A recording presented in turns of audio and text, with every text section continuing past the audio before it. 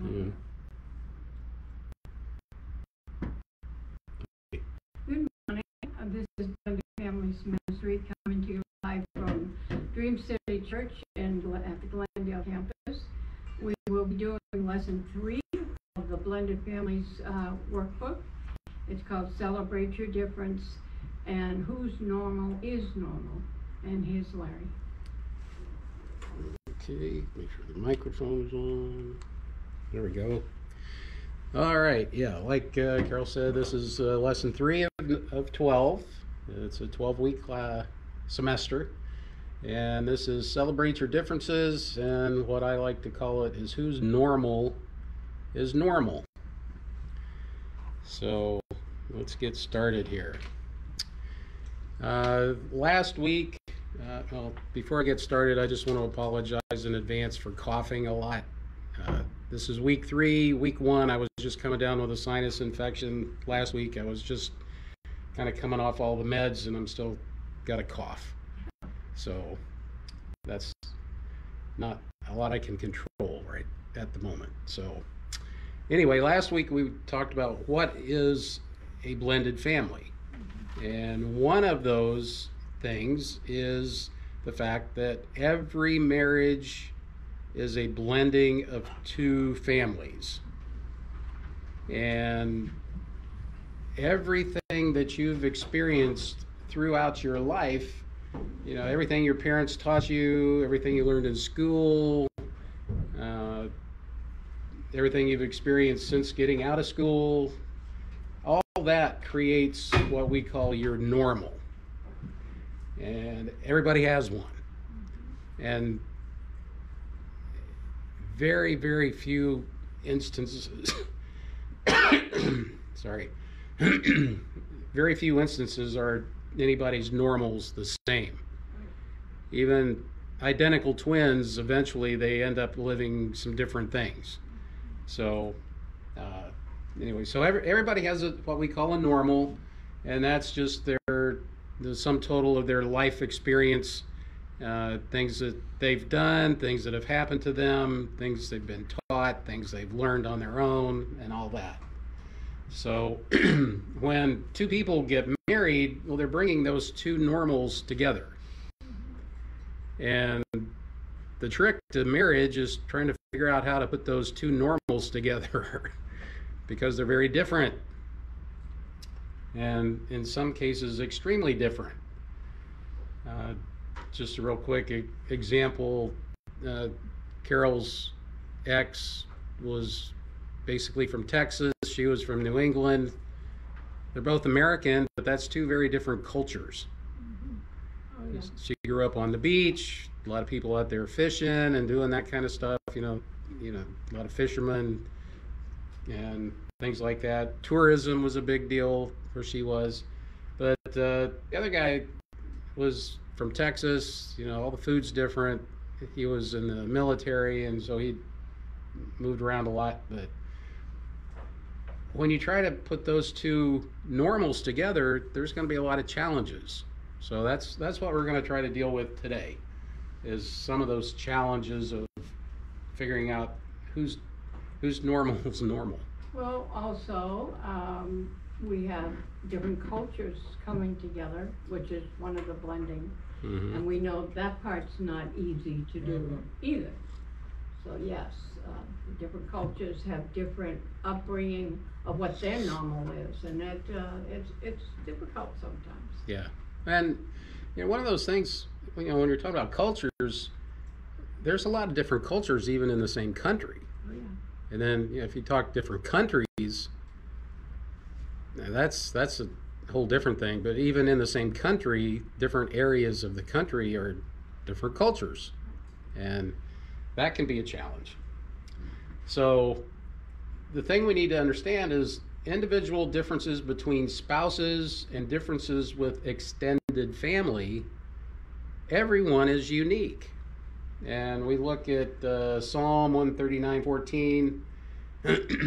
I will praise you, for I'm fearfully and wonderfully made. Marvelous are your works, and that my soul knows very well. So it's important, one of the main takeaways of this lesson is that each and every one of us is a child of God. We're created in His image. We're very valuable to Him, and and we're unique. No two people are alike. So created in His image. Trying to check the numbers to see if it's on you need there. to turn your volume off. Well, I Or you- don't know how to do it, they changed it on this thing. Only had the phone two years. Anyway, uh, I think it's okay now. So, so anyway, uh, Carol's trying to check some of the stats. Yeah, we have a lot of people listening at home, and we are happy that you're home listening. But we sure would love to have you in the classroom because your discussion here is just as important to the teaching for, for others to learn too. Right. So can you make an effort to maybe come in one of these Sundays soon? Thank you. yes, we would appreciate that. So, understand that you are created in God's image, you are valuable, but you are unique, and you're not like anybody else. So, again, who's normal is normal, right? You have a normal, they have a normal, but when you get married, it's a matter of taking basically setting aside your normals and creating a godlike, a Christ-like normal. And a new our normal. It Right. should be what the both of you decide your normal is going to be. Not because I did it, that's the right way, yours is not. Right. Uh, another little example: uh, a chef was married, and he was getting very frustrated when his wife was trying to chop carrots. And I mean, he's a chef. He does this for a living, right? He's in there, he just Trying to show her his way. So, and she was trying to do it and it was just struggling and struggling. And he's like, Here, let me show you how to do this. And so he takes the knife away from her and here, like this, you know. Well, ultimately, he finally figured out he's right handed, she's left handed. Mm-hmm. And he was trying to force her to do it the opposite of her normal way of doing it His way. his way, right? So little things like that, just the fact that somebody's right-handed or somebody's left-handed, just because that's the way you do it, doesn't mean it's the right way, okay? And what we've found over the years is most people seem to think their normal is the right normal. Absolutely. Now, when we're talking who's normal is normal, it's a matter of basically preferences. This is what you've learned, this is how you've learned to do it. So it just seems like this is the way to do it. I mean, it's like I've never done it any other way, right? But when when two people are trying to put some things together, it's like take the time to think about this stuff, talk about this stuff. I mean, that's what marriage is. You got all these years, hopefully, to spend together. Talk about this stuff. Who's, you know, compare notes. Whose way really is a better way? It may not be right or wrong, and that and that's the big thing here. Who's normal is normal. It's not a matter of right and wrong. If I got an apple in one hand and an orange in the other, and I say which one is right, it's not the right question. It's a matter of which do you like better, right? You got different kinds of fruit, they're just different. It's not a matter of right and wrong. And that's what we want people to understand when it comes to trying to put a marriage together. It's not about who's right and who's wrong, it's who can, whose way is closer to God's way. You guys have been married quite a while. You had some challenges. Is there any of this that rings a bell to you? Is there anything you'd like to share with somebody that might be listening that has different cultures, that they're struggling with something? That's like a loaded question. I know. For us. But at any time, if you think of something like that, you would, you know, just let Larry know you wanna say something, there's the mic, and you guys too. If you guys have something you wanna add, just let me know and we'll get you the mic. Because people at home, there's all different situations, and this is training for them, you know, we're trying to educate people how to blend in, in many different ways.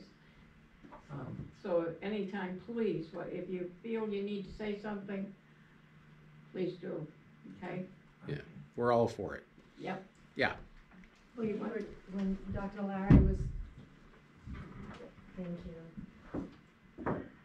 Thank you for this opportunity. When Dr. Larry was speaking, the word that dropped in my spirit and what we have, I think, continuously work on is what way brings balance.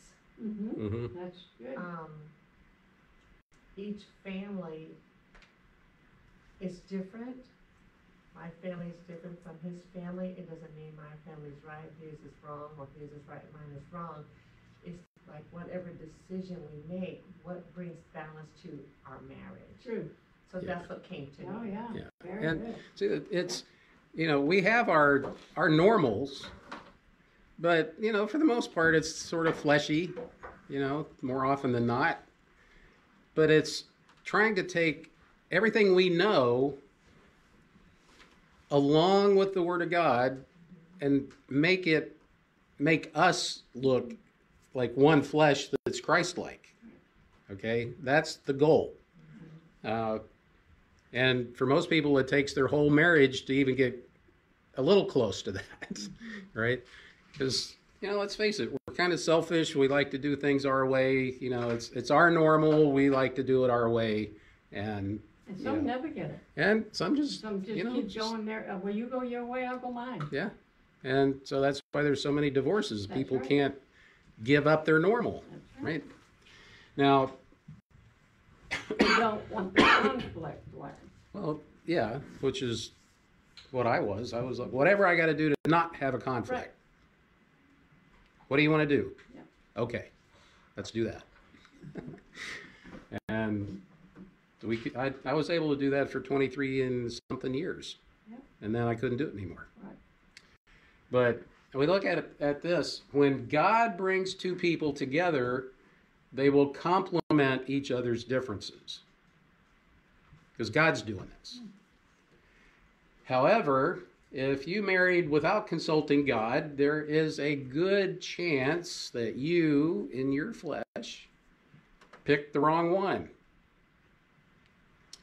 However, even if you did pick the wrong one and you're married now, if you give your life over to Christ, God can redeem that.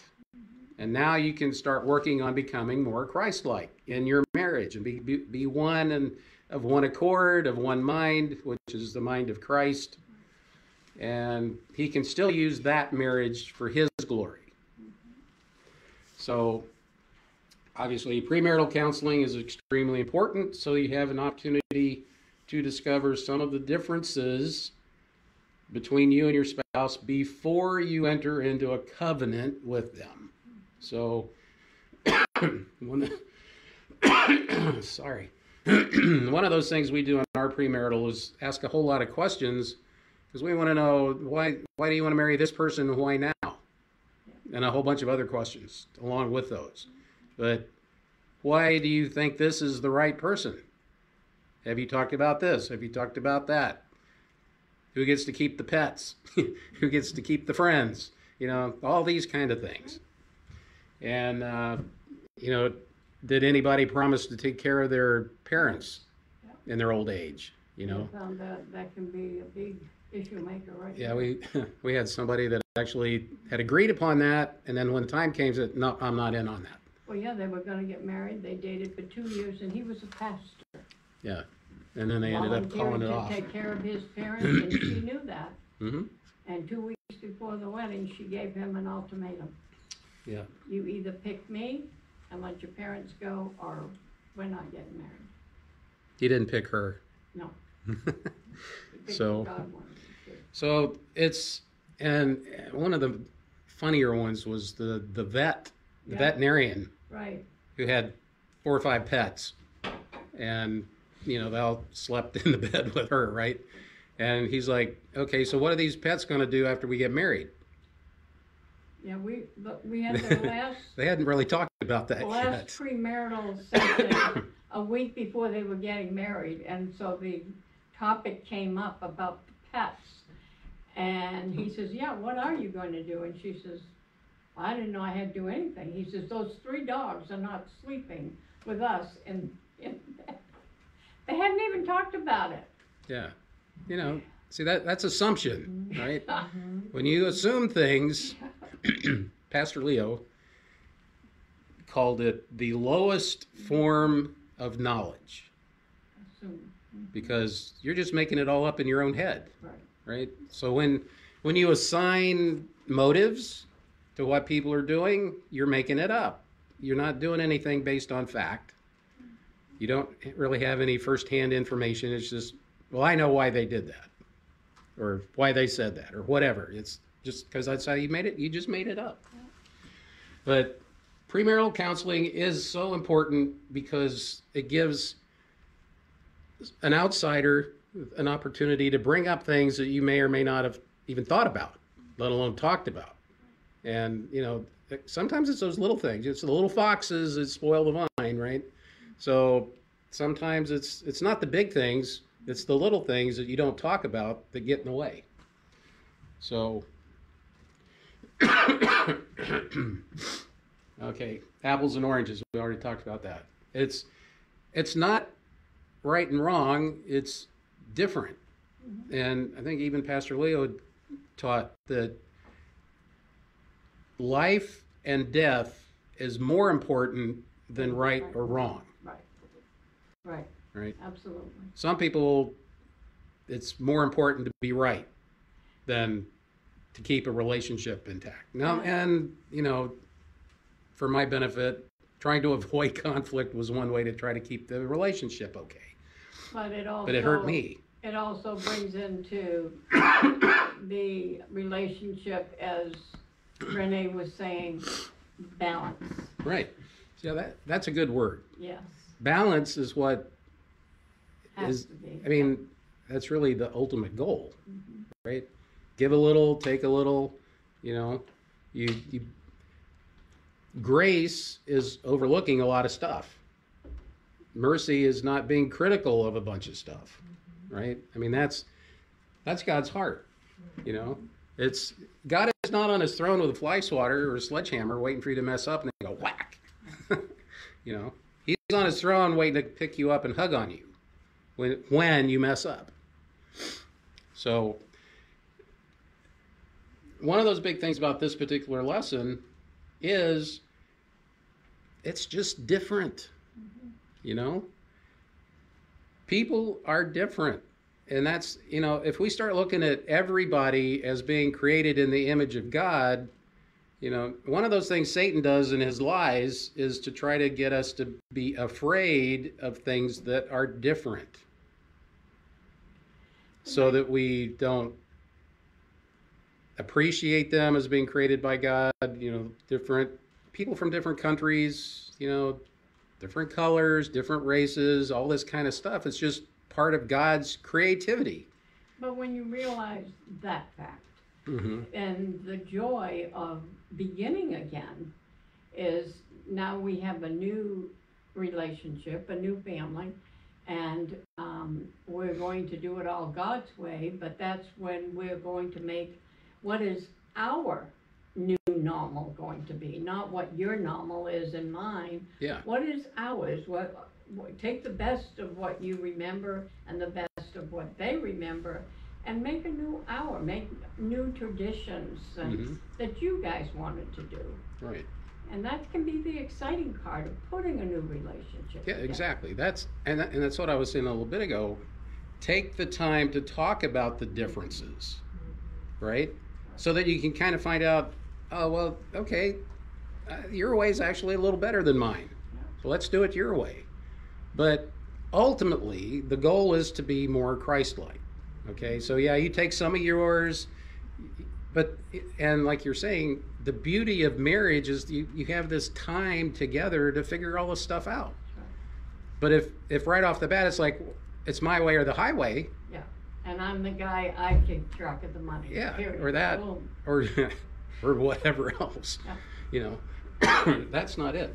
And Proverbs twenty seven seventeen, iron sharpens iron, so a man sharpens the countenance of his friend.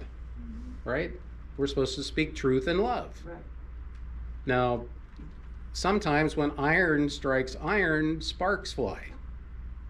so you can start a fire doing this. Mm-hmm. But when you're operating out of the Holy Spirit, you're talking truth and love, you're not trying to start a fight, you're just, you put your Jesus glasses on, right? really think about what you're saying. So, yeah, it's you know, if if you're operating out of the Holy Spirit, you're using grace, mercy, you're seeking truth, right? It's not well, I don't like what you said, so I'm out of here. You know, that there's no grace or mercy in there. It's really kind of disrespectful. But the best marriages are the ones where spouses learn how to have productive discussions rather than just having arguments, right? Keep focused on the issue, don't let it get personal, right?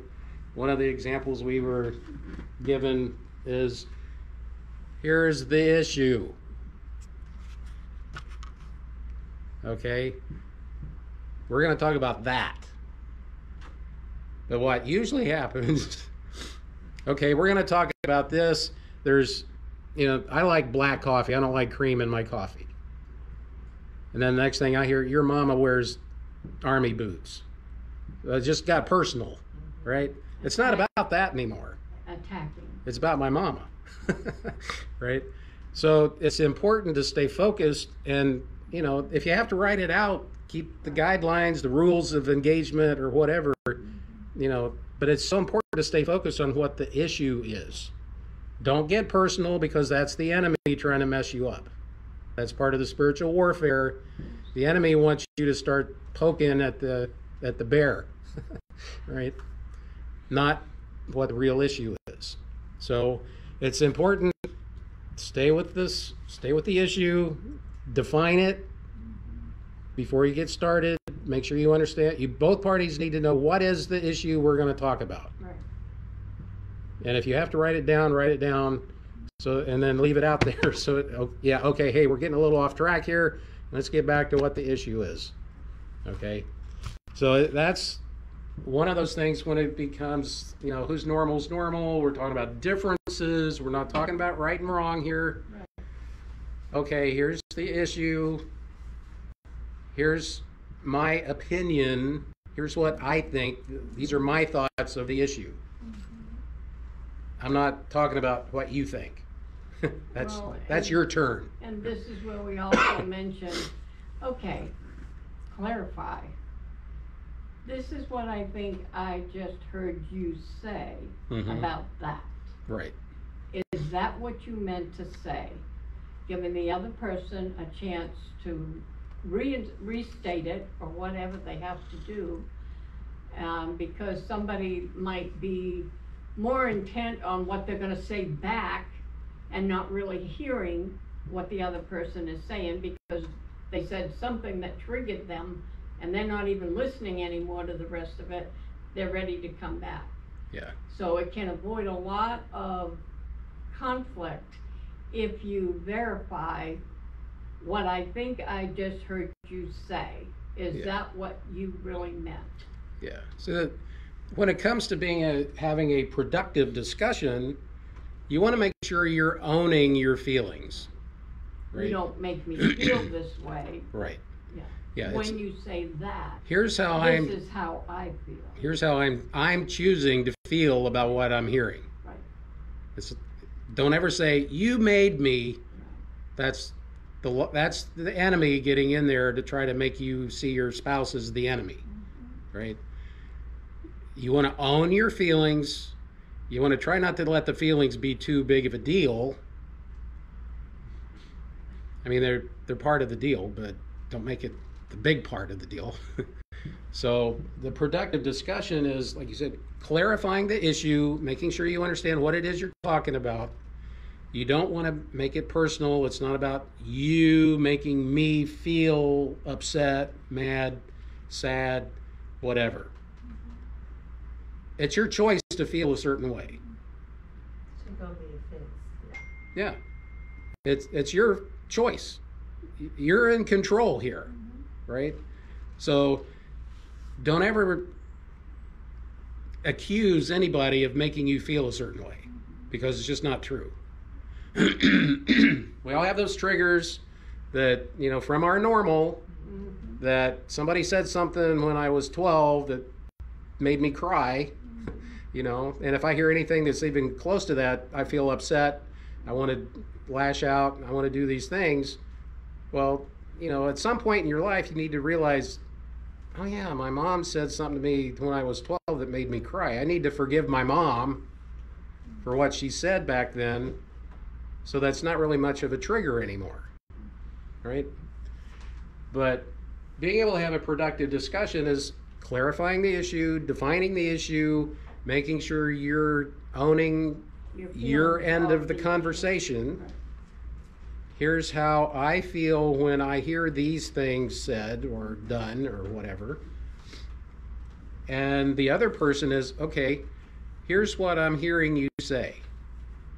Is that really what you were in, intending to say? So, so if I'm hearing you correctly, okay, well, in that case, now that I understand what you're trying to tell me, here's what I can do.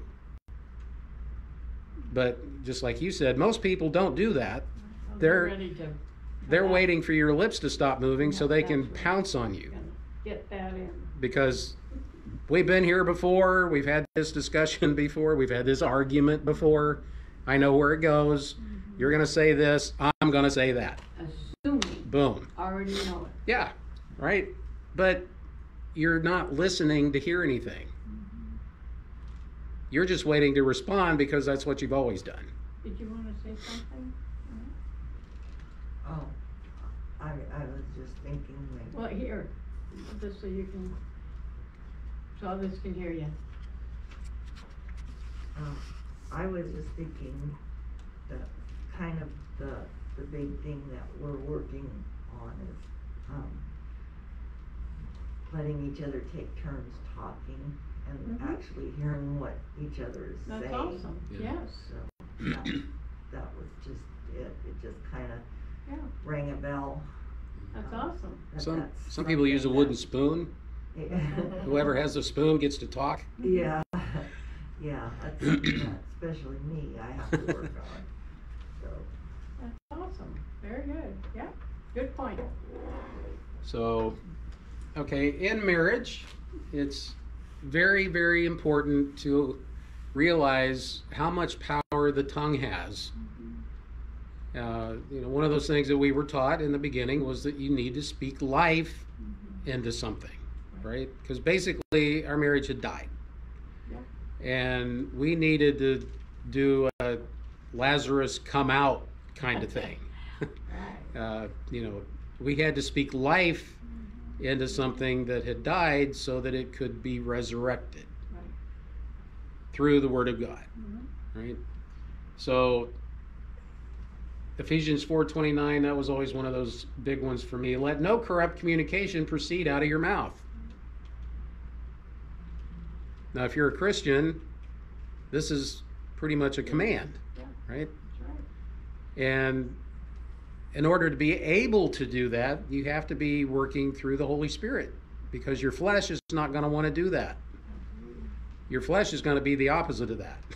You're going to, you know, cuss words and just negative and very emotional, negative, and, you know, yeah, you're going to be throwing punches with your words. So let no corrupt communications proceed out of your mouth and I think the the rest of that has something to do with that it needs to edify those that hear it, mm-hmm. right? And I keep thinking of like you know the kids in the Toys R Us You know, they're in the aisle and they're throwing a tantrum on the floor because they're not getting whatever toy it is they want. And then mom or dad or whoever is like chewing them out and you're, oh, I'm gonna do this or do that, and blah, blah, blah. But you're in the next aisle over. they don't see you, but you hear what they're saying, mm-hmm. And it's sure not edifying. Right. right. So that, that's kind of the picture I get when I hear that one. Is those kind of situations, yeah.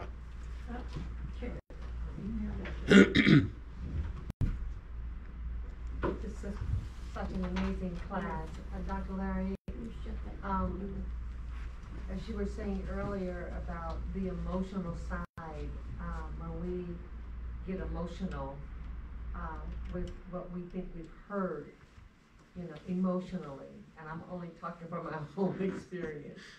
So, uh, that's where the battle begins, is in the emotions. hmm You know, Yeah. that's where the, the battle begins, is in the emotions, and when we give way to the enemy, the adversary, the devil, he comes in like a flood, pressed down, shaken together, and running over.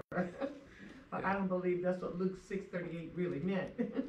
But the enemy comes in like a flood and have us operating in the flesh, hmm in our emotions. hmm And I've been there, you know, We all and I've have. had, and I've had to repent.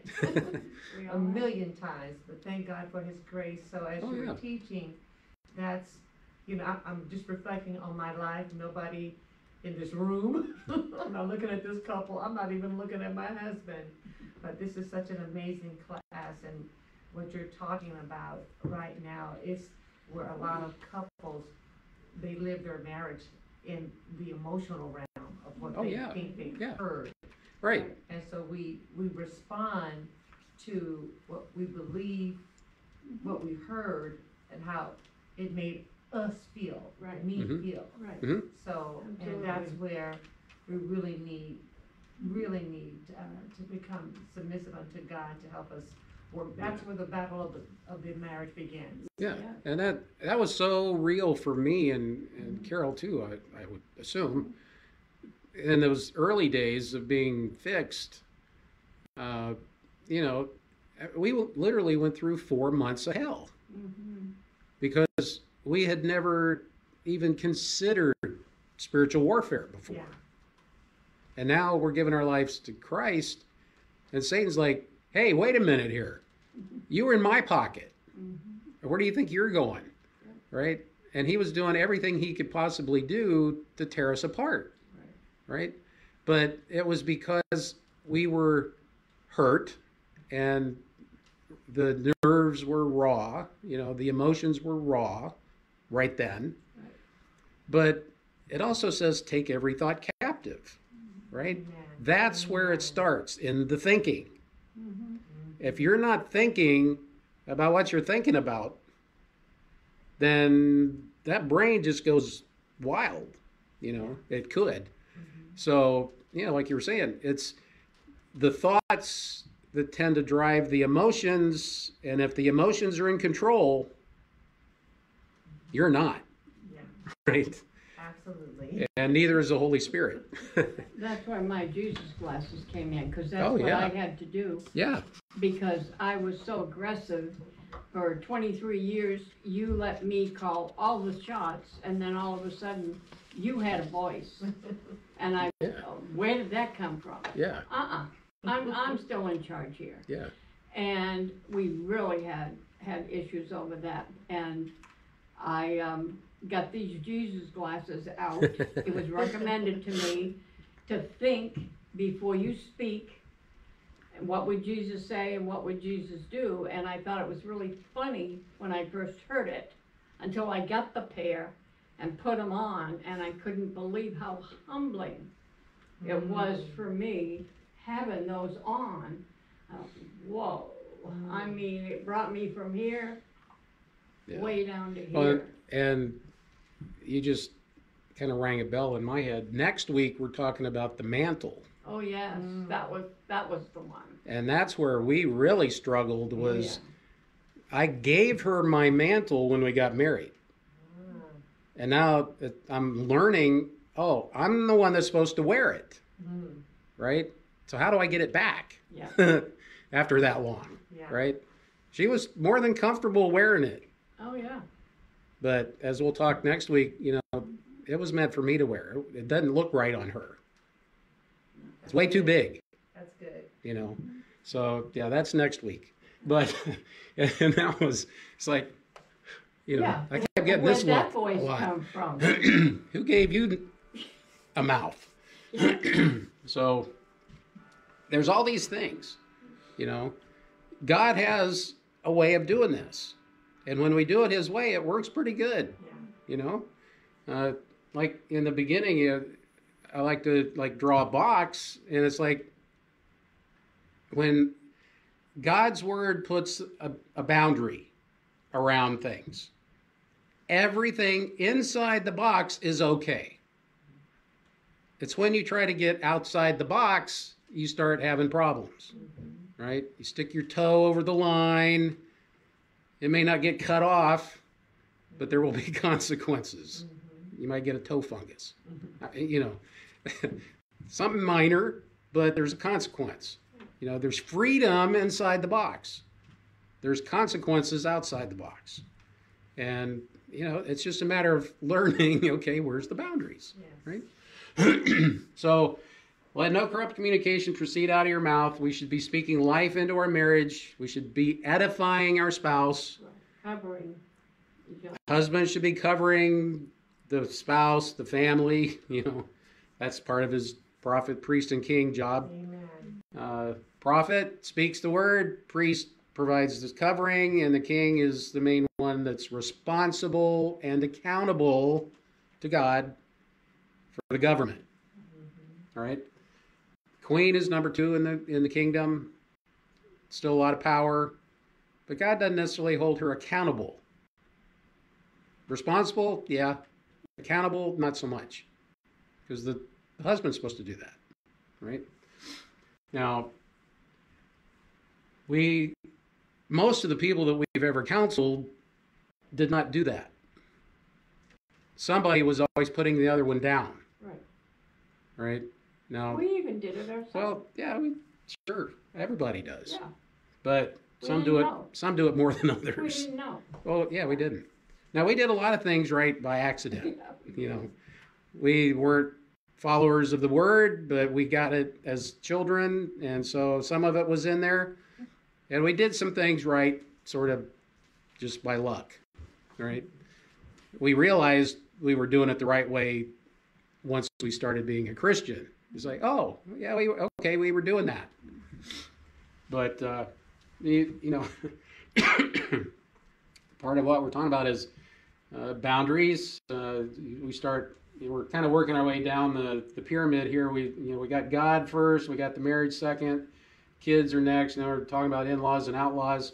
There are needs for boundaries, especially we're talking about differences here. Who's normal is normal. Our in-laws, right? When you marry, you don't just marry your spouse; you get the whole family. And part of blending is how do you manage all these external relationships? so, you know, your marriage comes before the external relationships. You have to protect it. It comes first. Family's family, right? But most of us have some crazy Uncle Harry out there that you don't necessarily want to be best friends with. So you, you pray for them across the street, right? Boundaries. Uh, now, if there are major cultural differences, uh, you know, even with your ex, I mean, your side of the family didn't get along with his side of the family that well, right? Right.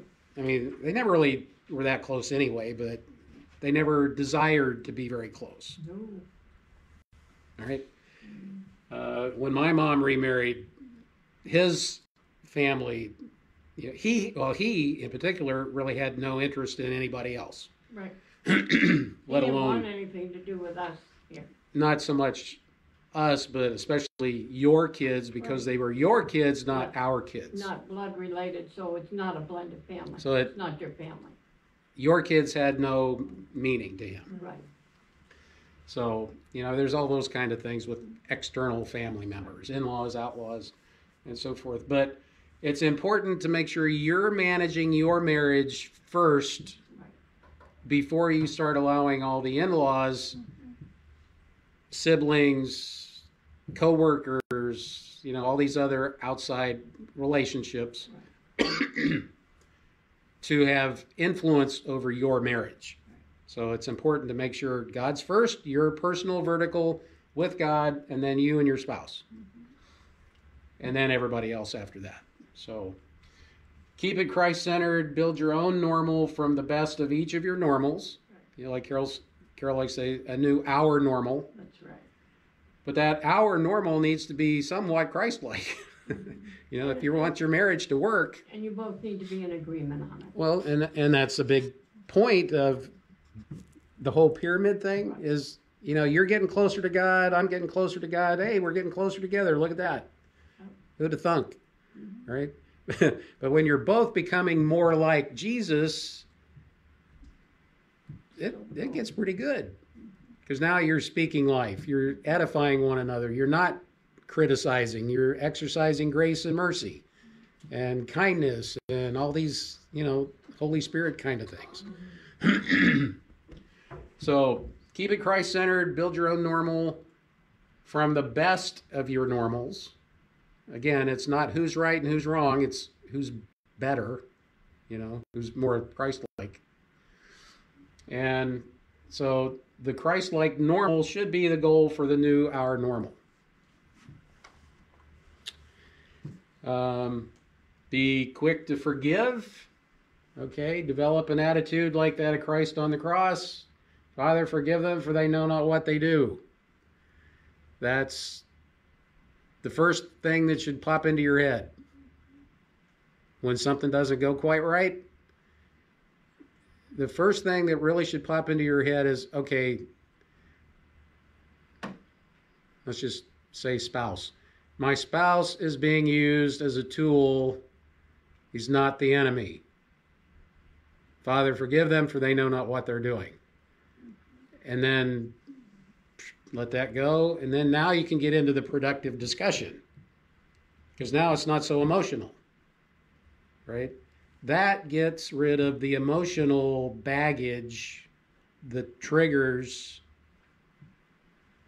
the pain of whatever happened in the past that drives the emotions today.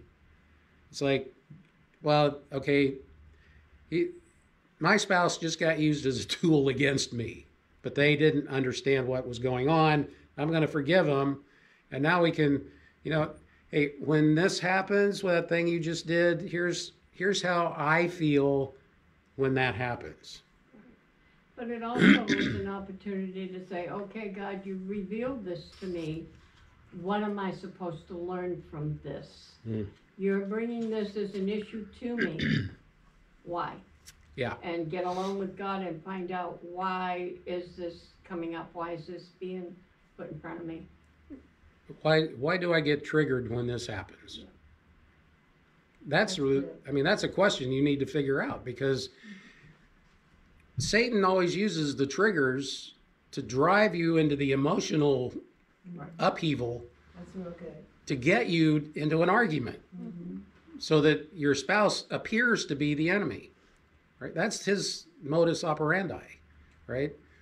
I'm going to use one or both of you as a tool against the other one so that you think you're each other's enemy and then I'll go mess with somebody else. That's spiritual warfare. Mm-hmm. Satan's not everywhere all the time like God is. He's one entity. Mm-hmm. And he can only be in a certain place at a certain time. But he's got a big army, Yes, right? a third of the angels, right, are on his end.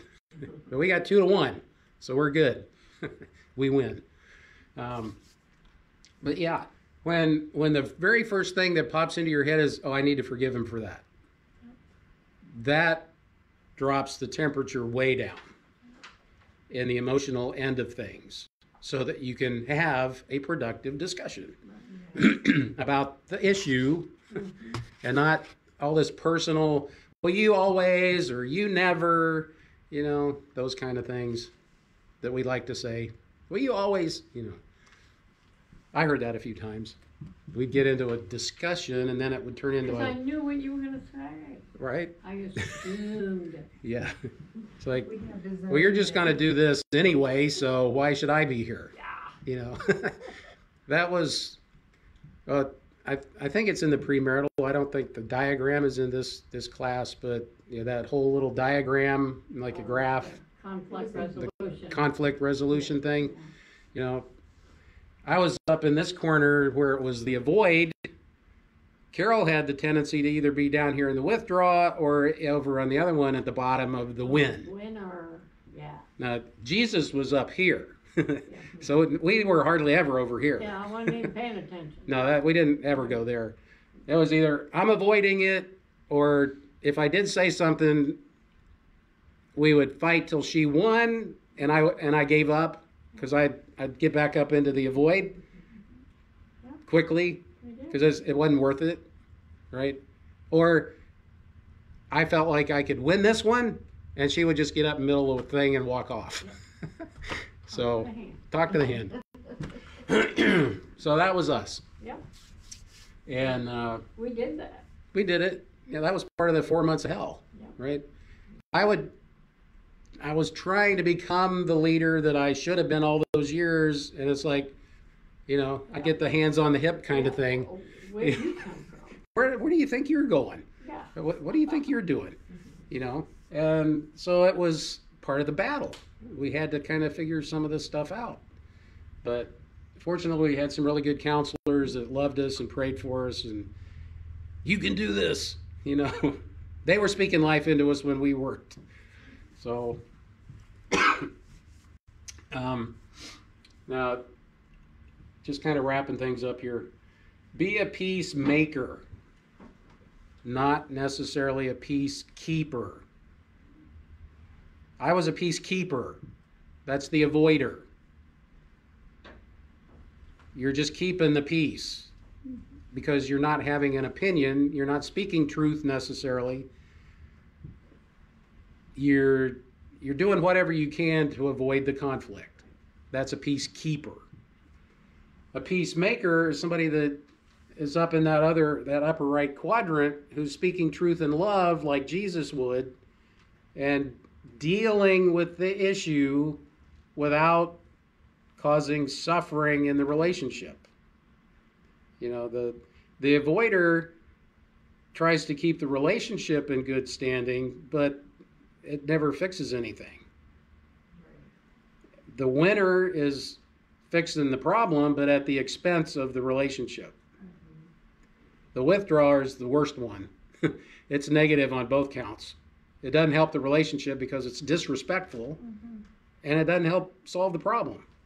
Right? So it's it's at the expense of the relationship, and it doesn't fix anything. It's just I'm not going to deal with you. I'm out of here. Right. It's all about me and how I feel, and I'm not going to talk to you. And uh, hey, Denny, come on in. We're just kind of wrapping things up.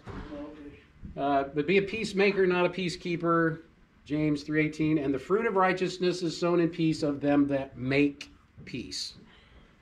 So, He had Uh, surgery just, look at him. oh yeah, walking around, Oh, God really blessed me the first day. you know. yeah, hardly even limping. Didn't even notice it. But okay, so it said of those that make peace, right? So again, it's not about keeping peace. You know, in the middle of that graph was a circle, and that was to me that's like you know the Middle East peace treaty. Nothing ever got solved, but both sides are just waiting for the other one to start shooting again. They're not shooting today, maybe not tomorrow, but probably next week somebody's going to shoot again, right? So it's just a nothing got resolved. It, it's it's just right there in the center of everything, and it's just nothing. It, it's a compromise. You know, nobody got what they wanted. Nothing really got resolved. You know, it's just right there in the bullseye, and nothing changes. So, but those that actually make peace are those that will see the fruit of righteousness. Now we, we got a glimpse of that there were several Mideast countries that were signing peace treaties and different things. So we'll we'll see what happens nowadays, but uh, you know, you you kind of get the feeling of it was the right thing to do. So it was it was righteous, right? When these companies were realizing, oh, you know, hey, maybe if if we start doing business together, we both benefit, and now we're not shooting each other. Who'd have figured that, right? You know, but again, th- those things have been there for thousands of years, right? I mean, it's not like something that just started. I mean, it's it's uh, Ishmael and Isaac, right? I mean, it goes back to there. Uh, so it's been there for thousands of years. But anyway, try to be the one who's speaking truth in love. You're speaking through grace and mercy. You're speaking truth. You're speaking about the issue. You're not getting personal about things. You know, it's not how you make me feel. That's a lie. Here's how I choose to feel about that. And this is what our new normals are going to be Yeah. in our home. And you know, sometimes you need to like kind of write some of this stuff down, right? And you write down here's what I think it should be, here's what I think it should be. What's the better ones of those? Compromise. What which ones of these are more like Jesus? You know, that's really That's the question. ultimate goal. yeah. You know, ask yourself that question. Which here's here's kind of my vision of how things should be and here's here's mine. Okay, well, they don't always line up, but which ones of these are more like Christ? Let's do those. Let's let's start with those and then see what happens. You know, you can't change everything all at once, you know, but pick a few things, make those things a little more like Jesus, and then God will start moving in other areas. So, all right, I believe that is everything I had. Yep. So, any any other comments, questions? Does this make sense? It's a really great, um, great, Um, great lesson. Danny. It's one of my favorites. Do you have anything you want to add that you might have learned over the years with the ministry that has helped you and your spouse blend and uh, celebrate the differences better? Well, you know, It's going to be official now. yes, is it on? It's on. It's on. I don't, well, you know, I think that if you've come out of a really toxic first relationship, uh, that you have to kind of relearn things. Cause now you're looking for the dark, seedy part of everything, cause you've been damaged. And reading and renewing your mind in Christ and the Word of God can help because it makes you think differently. But it's also the enemy comes up and you have to stand together on a lot of issues, or most issues, if not all, because you're no match for the enemy. Mm-hmm. But my walk is, my walk alone has been a word called loyalty this year. As soon as I said loyalty, and God put that in my spirit, you know, you're loyal to your wife, you're loyal to this, you're loyal to that. He says, Are you loyal to me? I'm like getting persecution like I've ever seen before. I mean, I can't make friends with a stray dog. I'm trying to fight me. So, uh, you know, I would recommend this class to anybody. It just Yes, it's a great class. saved, it's really saved me. So, yeah, that's pretty much off the top of my head. Awesome. So We you're appreciate even struggling with making friends with stray dogs now. Yeah, I mean, you know, well, if you're in Christ in this day and time, I mean, you know, you, you expect that, but you expect maturity out of the persecutions and peace of mind through God alone. Um, and your strength is in the Lord. Right. And, you know, that's what I just, you know, I mean, this class alone, you just learn way too many things anyway. Mean, it's like, they come to you in pieces, right? Out in your spirit, Holy Spirit brings a lot of this up because it's scripture. Right. Right. We try to base it on scripture. Yeah. All right. Well, uh, thanks, Danny. Yeah. Uh, good to see you. Uh, just wrapping things up. The uh, our our website is blendedfamiliesministry.org. Uh, anybody so inclined to make a little donation can do it on there. Uh, we do have a premarital seminar coming up next month.